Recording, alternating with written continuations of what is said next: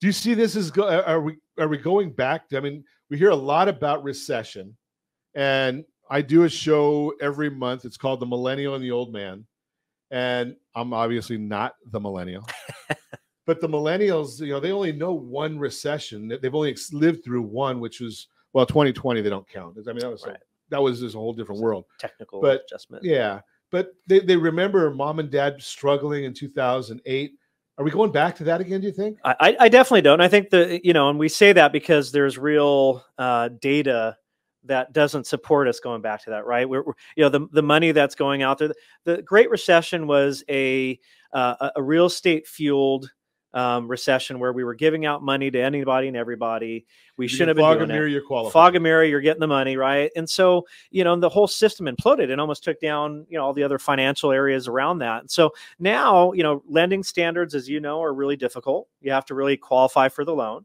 Um, you've got You have to be able to repay it. You have What to- what a surprise, surprise. show that you have the assets and the income and all that, and not too much debt and everything. And so there, you know, there's that part of it. Then you've got the part where we don't have a, a glut of inventory.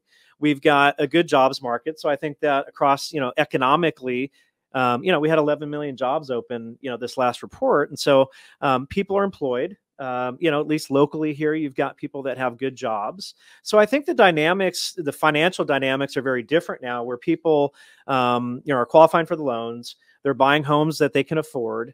Um, you know, the distress rates and across Orange County, even across the country, are extremely low. So I have people saying, "Hey, you know, uh, are the REOs coming back and short sales?" No, because you know the average uh, owner in Orange County has 40, 50 percent equity in their home, right? So no one's walking away from 50 percent equity in their house. Yeah, you're not going to walk away from you know you have a, a median home price of a million and change. You're not going to walk away. So what is it, million or thirty-two? five hundred thousand dollars Right. of equity. I got four hundred thousand dollars. I think I'll just let it. Go. I don't want it. Yeah, I'm gonna walk away. So I mean, me, I'll the- take it. the the dynamics around the market, the fundamentals are completely different than what they were during the Great Recession. So no, I don't think we're going back to that. I think that we're going through um, an adjustment period where we've got to get inflation under control. Rates are the way that the Fed does that. That's their tool in their tool chest.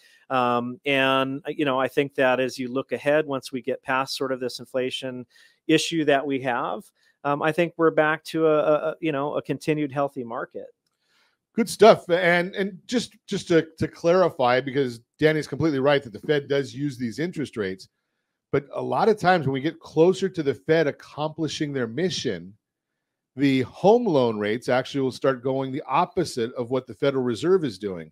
So as the Fed starts getting to where they're, they're, right now they're trying to get inflation under control, as we see inflation coming under control, we should start seeing home loan rates drop as well.